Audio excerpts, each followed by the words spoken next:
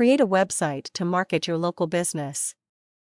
Even businesses that are not primarily internet related can benefit greatly by starting their own website or blog online. The internet is becoming one of the fastest mediums in the world to get information quickly, and this goes for searching for specific companies and local areas.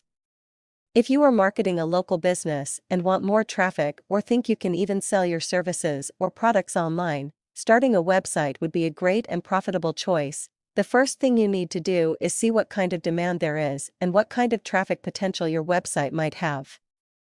To do this, you can use Google's free AdWords keyword tool and it will tell you how many searches per month certain keywords are getting. For example, if you own a local mattress company in Chicago, you would type in something like Chicago Mattress Companies and it would show you how many people are searching for these keywords.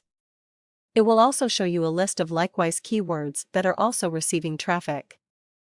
Type in a few keywords and keyword phrases that you might think people would use to find your company to see if you do start a website how much traffic you are going to get if you find that there is a demand for people searching for your keywords, and then you will know it's a great idea to start your own website.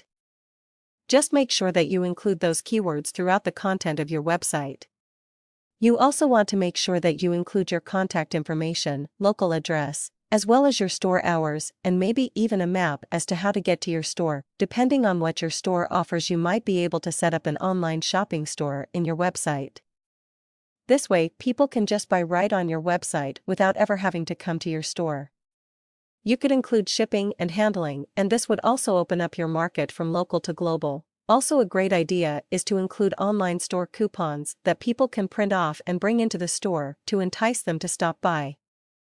Change up the coupons weekly or monthly so people will be more inclined to check your website to see what kind of deals you're offering on your merchandise.